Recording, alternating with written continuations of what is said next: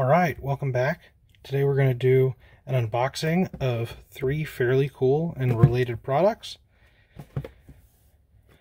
This is the Viridian HS1 with green, red, and IR.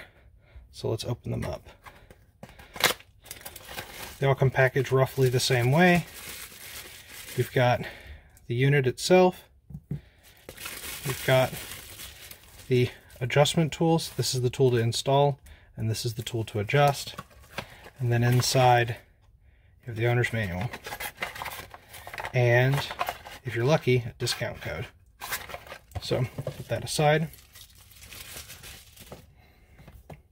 Same thing is true for this guy. Take this one out.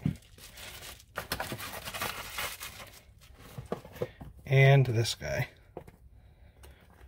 I need to grab a knife.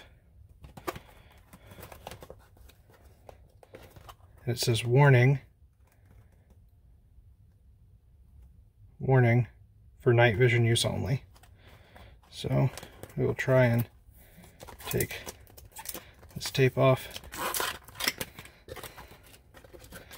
and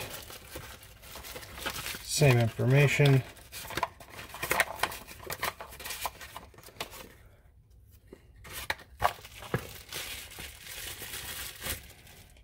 and it has purple to indicate the difference. So if you're trying to tell the difference, you can tell the difference with what is the mounted color.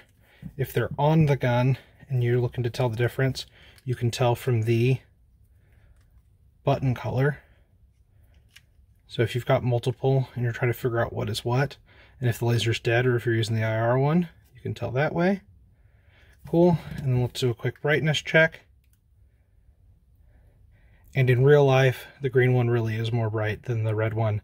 The red one's also significantly cheaper. You can tell if you change the reflectivity based on what it's pointed at.